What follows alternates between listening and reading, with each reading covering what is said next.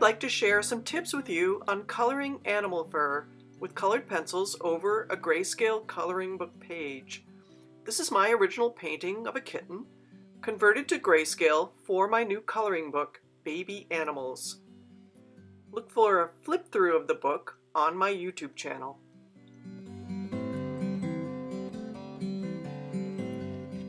I'll be working in these gloves, great for arthritis and for keeping your hands clean. So, let's start. Here's the kitten. Now the first thing I'd like to talk about is actually not colored pencils, but what you can do with a gel pen. You can actually start by adding things like whiskers. I already had added his whiskers on his other side, and now I'm adding them here. You can also add the whiskers at the end, but it's a little easier to add them before you put color on the page. Um, so, and, and sometimes I'll do it both ways and, and add more at the end, but there you have it. Some little whiskers. And you can add more things. You could add little white hairs. Um, later I'm going to add um, hairs to his ears too. But I thought I'd show you the colors that I'm going to use for this kitten. So he's a tabby, but he's got a lot of um, orangey brown um, areas. And I just think this is one of the prettiest colors of, of cats. So I'm going to uh, use that as a guide to inspire the colors that I'm going to choose. Now one of the main colors for the fur that I'm going to use is a color called Goldenrod. Now I'm putting it on in a very light layer. If you're not familiar with grayscale coloring, uh, I assume most of you probably are by now, but if you're not, um, you want to do what's called layering. And layering is basically coloring an area with a very light hand. You notice there's hardly any color showing here yet. So the trick is not to bear down too hard. Once you bear down really hard, you won't be able to go over that area again easily. And that's something that you want to save for the end because when you bear down hard, you burnish all the colors together and smooth them out. But you don't want to do that right away. So you want to do what's called layering. so I'm going to go over um, pretty much the entire the entire pictures with uh, with this color. Again, it's goldenrod, and the colors will be listed at the bottom uh, the, in the description. So keep scrolling through, and you'll see see the colors listed that I'm going to use for this kitten. so I go over everything, including the dark areas, including any light areas, um, and, and in general, you want you you want to have not a super detailed every single hair um, illuminated here. You know, this is more of a you know a painted look instead of a photographic look. So we're not simulating a photograph per se. We're we're coloring a piece of art. So the finished product will look more like a painting uh, than a photograph. So go in between uh, the, the whiskers and I'm adding now a second coat on on some of these areas and I'll I'll do a number of coats of this of this color so just gently going over it, circular motion. Some people do really little tiny circles. Um, I find if you're if you're using a light hand, uh, it, there's more leeway in terms of the the strokes that you use because you're not putting on a thick thick lines, so you can use a, a, a bit more of a almost a sketchy approach. And as long as you're going over the area and coloring it, um, it's fine. And, you know, cats are, you know, have multicolored fur, so even going over it um, a little irregularly isn't a bad thing. Now his muzzle is the place where he's got that beautiful, beautiful little orange um, spot. So um, his muzzle, muzzle and the top of his nose, I'm going to layer in um, quite a few more layers over and over and over here so that it builds up and he's got that beautiful little, you know, brighter brown nose and, and his little cheeks. So now I'm going to use uh, sepia. I don't use black right away for the for the darkest um, areas, uh, for like the stripes, for instance. Um, I, I like using sepia. It's a warm, uh, dark warm brown, and it um, I don't know. Just you don't want to necessarily go too dark too fast. So this is a good um, it's a good compromise to not using black right away. I, I will go back in with some black later. Also, you can add um, here and there, because, you know, as, as I said, this is not a photograph, so it doesn't show all the, uh, every single fur, uh, little piece of fur, every single hair. So you can add, um, you know, your own extra little, little hairs too. And notice when I'm when I'm putting in the details here that I'm uh, I'm using little strokes that simulate the hair and that are going in the direction of where, how the hair is growing. So instead of, I wouldn't be coloring this going across, I'm coloring it um, as his hair, in the direction his hair is growing. And I decided just to add a little extra stripe there. You know, and you can do this on the other side too. I don't think I did, no but um, you could. And, and this is actually his, it's hard to tell, but that's his tail flopping off on the side of the, of the stool. now most cats that are this color have, um, have that pale ridge on the, um, the edge of their ear, and then the, the back of the ear in this color tabby is usually quite dark, and that's why I'm doing it this way. And and I'm just sort of flicking those extra little little uh, little hairs, you know, sort of starting in one direction and then sort of flicking it up. Um, so you can add uh, you can add more detail, a little more, a little more uh, little hairs here and there. And here's the darkest um, his darkest points. Almost makes like a little M, and then you just sort of make up um, a symmetrical design up here of, of how the, the fur might might go up. You know, every cat's a little different. Uh, they tend to be similar, but um, you know, not identical. There's there's many different different kinds of markings. But the back of the head tends to be when the cats start getting uh, darker toward the back of the head. So that's why I made that a bit darker. Now I'm outlining uh, the ears and just adding little hairs.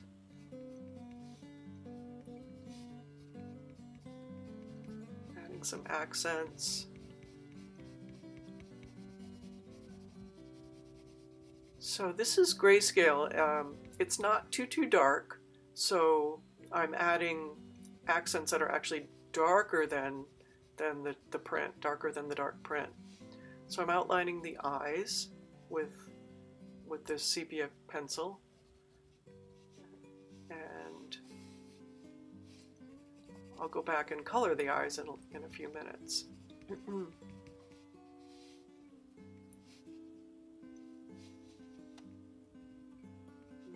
I'm outlining his nose.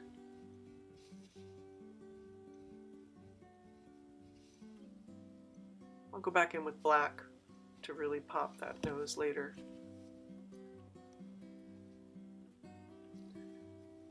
So this is a light umber and I'm going to go over all the the main cat color with with this with this light umber sort of layer layering on top.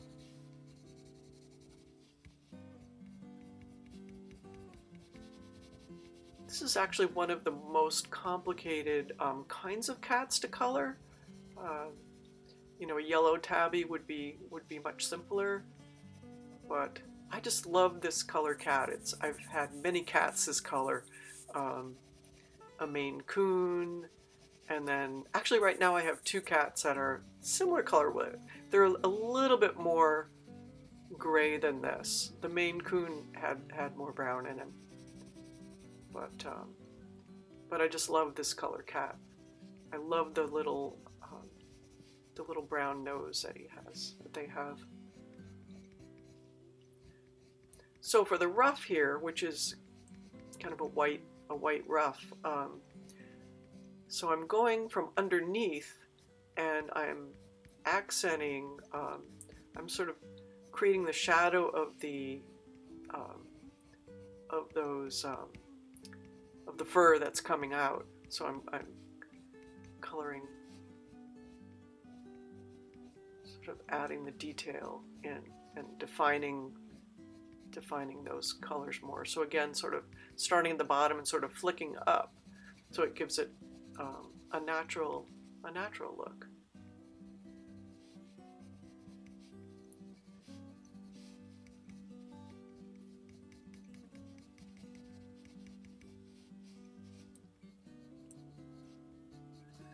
accenting corners of the eyes. Okay. All right.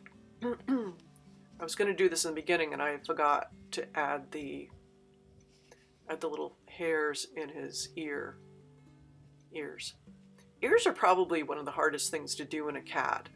And if you understand that the um, the little white hairs that all the cats have come from that inner part of the ear all the way up. So that's where they grow from. So if you have your strokes going from that direction, you can simulate pretty simply. I mean, it's not photorealistic, but you can simulate the the look of of the, the fur in the ear. So a lot of these colored cats actually don't have pure, pure white points. A lot of them are, are kind of have cream colored uh, ruffs and, and points. So I'm going to add, um, not cream, but it's, um, what is it? Oh gosh, this is, let me find this color.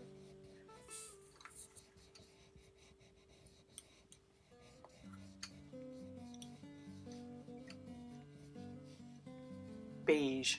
Okay, I knew I had it. this is beige. So this gives a nice, you know, just a bit of a warm feeling to the his white points. You don't absolutely have to do this if you prefer the pure white. Um, you can color this kitten any way you want. This is just one way of doing it. So um, so I use beige for the light parts, and then for the shadow areas, um, I'm going to use um, ginger root. And here's um, here's more beige.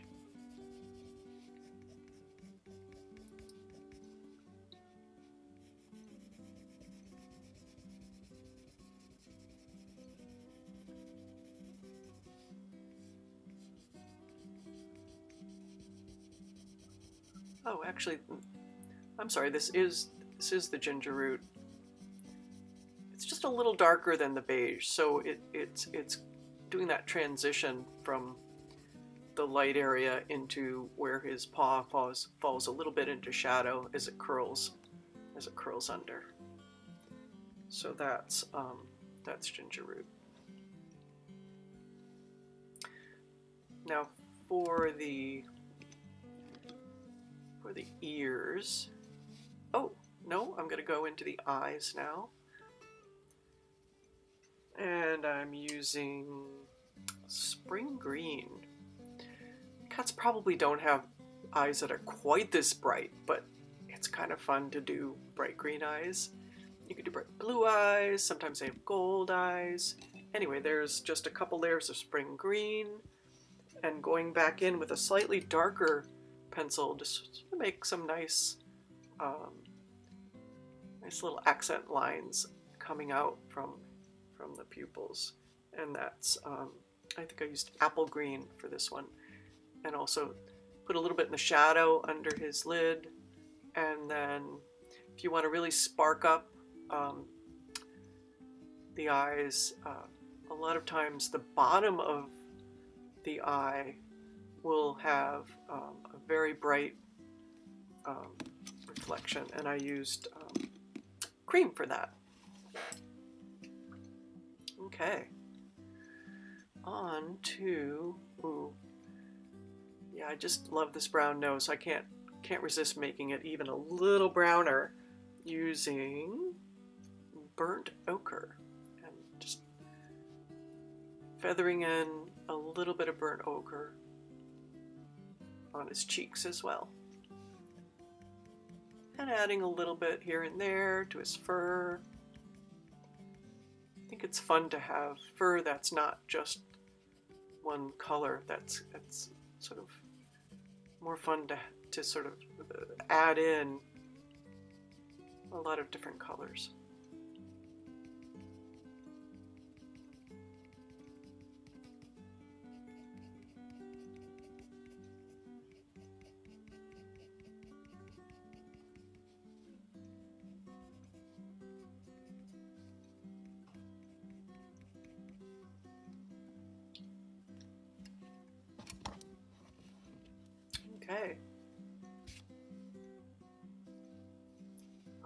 Black.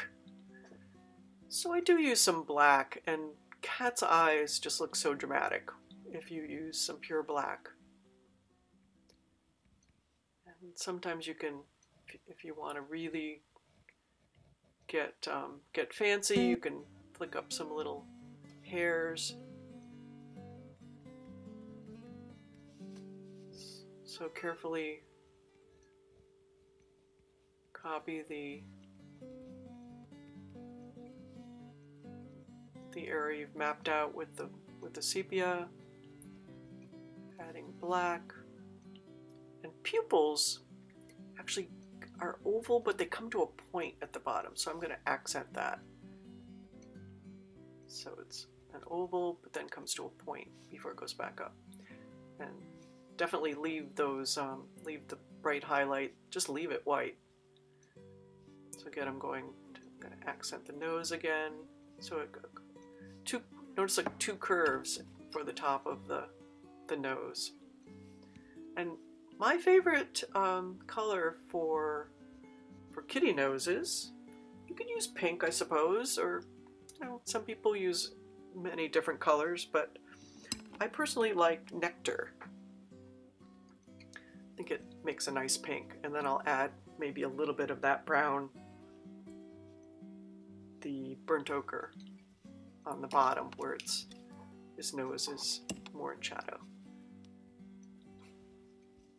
And add that into his little, his little lip as well. And that color, the same color nectar I'm using for the insides of his ears. Not all cats have pink ears. Um, some of them have gray inside their ears, but um, I always think pink ears look nice. Apologies for the my computer making noises. Hmm.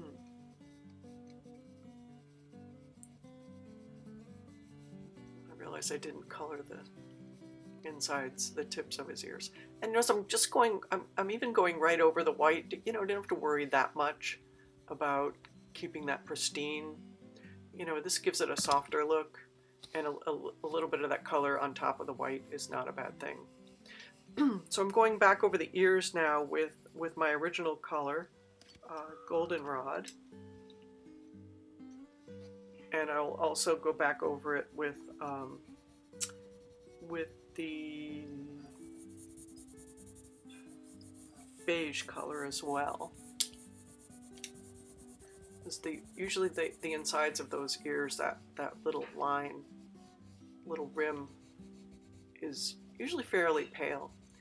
This might be a little bigger than they usually are. Um, again, it's this is a this is a, a drawing or a painting, and not photographed. So a little bit of creative license. And if you want to accent um, some of the shadow areas, you could go back in with with that warmer brown pencil, the burnt ochre. It's up to you.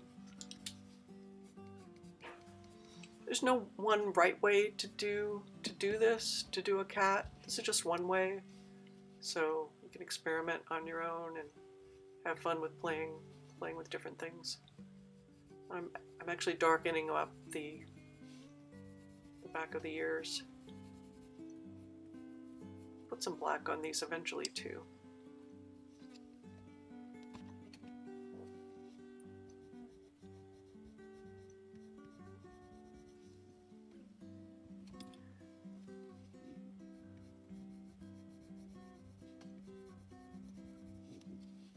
Adding in something. What am I adding? I'm just getting making that area a little softer.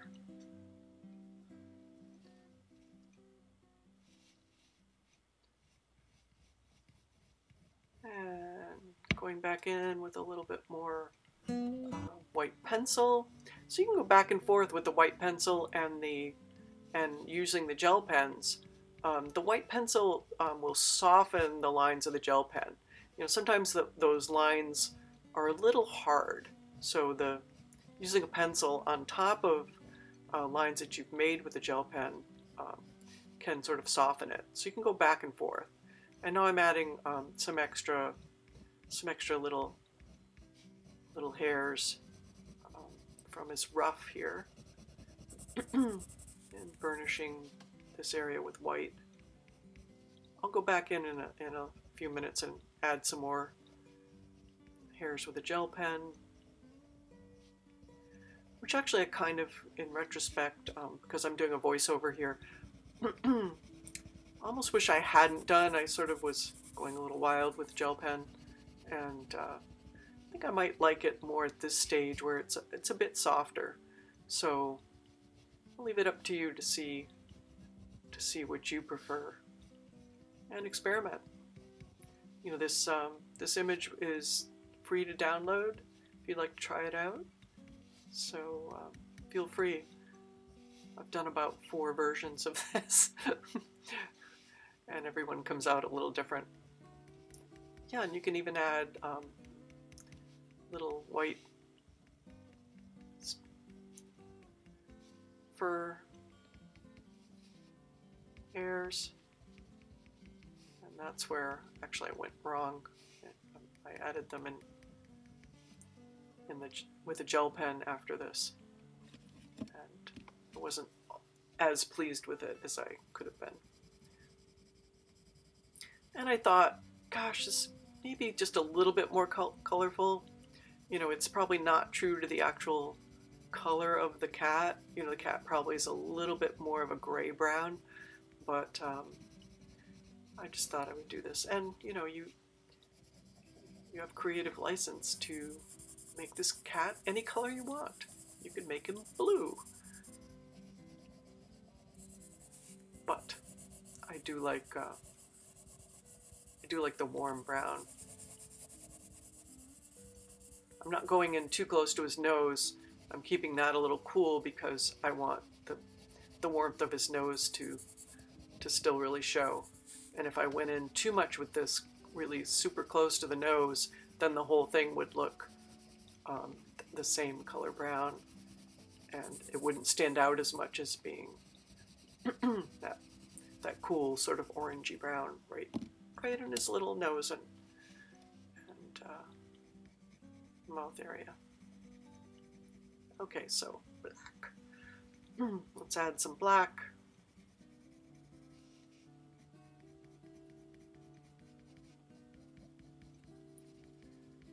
So I'm more or less going over the same areas. Um,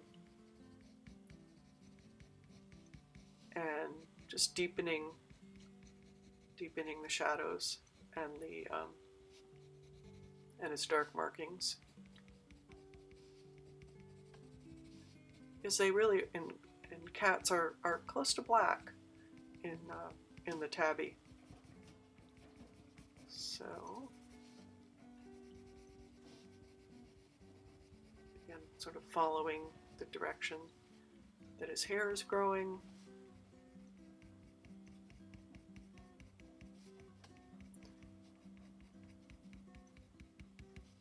Little strokes.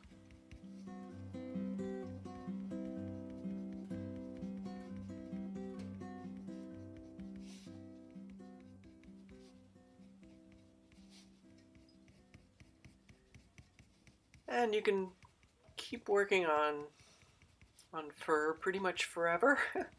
um, so I'm just continuing to play with it a little more. Adding more black here and there, slowly building it up. And at the end I'll be think actually taking some time off camera to to work on this a little more. I don't want this video to last too too long. So I'm to keep it a little under a half an hour. Hmm. But you can see how you can noodle, noodle away at it. And if you do add those white whiskers, um, you might want to do this, which um, just really add a little more shadow in the in the white ruff area um, around, you know, around those those whiskers, so they stand out a little more. I'm going in pretty loosely here. You can go in really a lot tighter um, with a really sharp pencil if you want to really define them. and adding a little shadow to the bottom.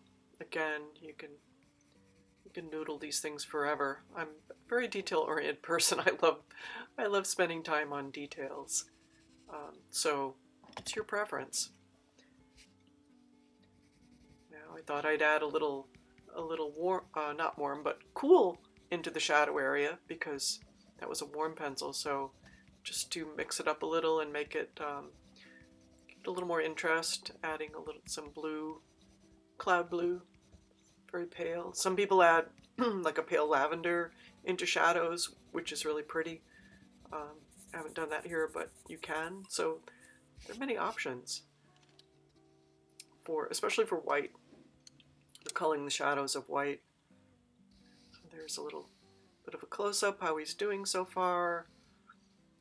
And now I'm gonna go offline and and work on this a little more. And here here I'm back um, after after spending about an extra half hour on this.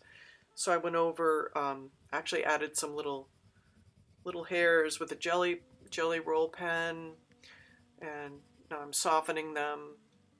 Uh, with more of the goldenrod. I added I added some more black um, stripes to him. I deepened um, deepened the black and deepened the black in the back of his head.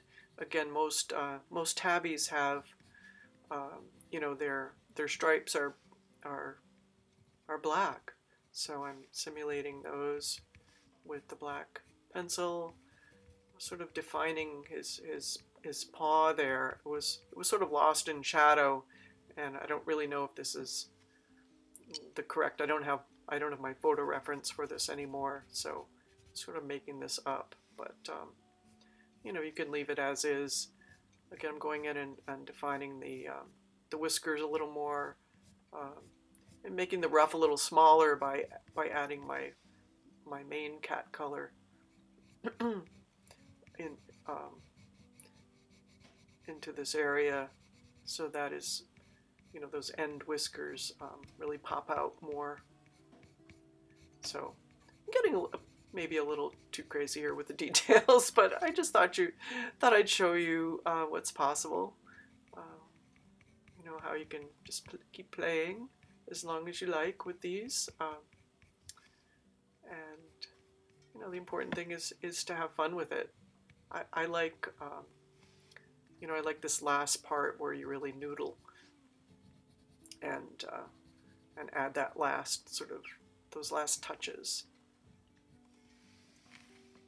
So there's the kitty and he's uh, available as a free download. Uh, check in the comments, and here, here he is, and color the background as you like. And he's from my book, Puppies and Kittens, my new coloring book. And I hope you enjoyed this demonstration, and I'll see you next time. Thanks for watching.